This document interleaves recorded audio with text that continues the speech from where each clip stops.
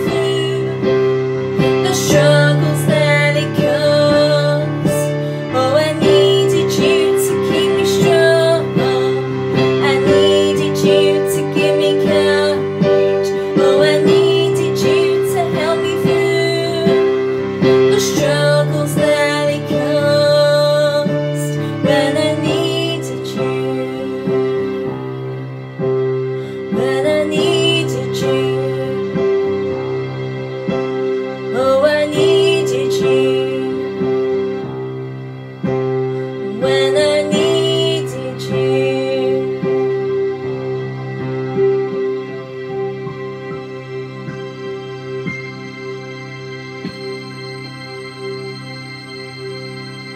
That was my update recording of my original song When I Needed You. I'm actually written and composed about unaware hypos which is unaware low blood sugars. Um, because for those of you that don't know I have type 1 diabetes so I write a lot of songs about that. So I hope you enjoyed it and thanks for listening. Bye!